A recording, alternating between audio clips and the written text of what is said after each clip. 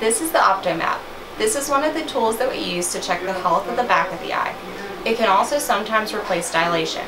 Let's look at a few things that we can find with the OptoMap. The OptoMap retinal exam is a non-dilating camera that captures a digital image of the retina.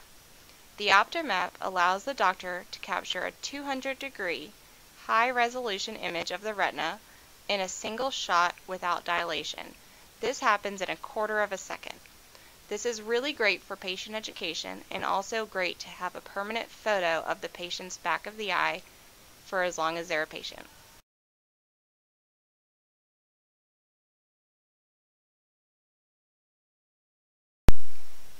Looking at the photos of the back of a normal eye, you can see the right eye is on the left hand side of the screen and the left eye is on the right hand side of the screen. First thing we look at is that yellow circle, which is the optic nerve. The optic nerve is the cord that connects the eye to the brain and where we look for glaucoma. The next area, just to the side of the optic nerve, is the macula, which is your really detailed central vision and where we look for macular degeneration. A little further out, you're able to see all the blood vessels throughout the back of the eye, which is where we look for changes, especially in patients with diabetes and high blood pressure. This image is an example of a branch retinal vein occlusion on the left eye seen on the right side of the screen. A branch retinal vein occlusion is a blockage of the small veins in the retina. This is just one of the many things that we can see with OptoMap. This is an example of an eye with a nevus. A nevus is a common colored growth on or in the eye. Sometimes called a freckle of the eye, it is similar to a mole on your skin. A nevus can be in the front of your eye, around the iris, or under the retina at the back of the eye. It is important to monitor nevi similar to how you would monitor a freckle on your skin. The OptoMap gives us permanent pictures to compare from time to time to make sure there is minimal change. This is an example of a patient with retinal holes.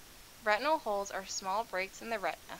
Usually holes do not mean you will have a serious vision problem right away.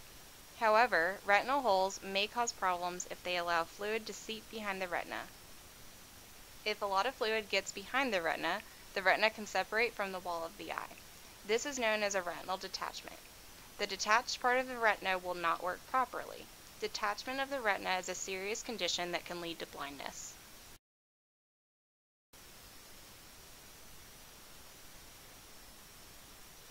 Here in the right eye, on the left side of the screen, we can see a large retinal hemorrhage adjacent to the optic nerve. There are many things that can cause retinal hemorrhages in the back of the eye. In the left eye, on the right side of the screen, we can also see that this patient has dry macular degeneration.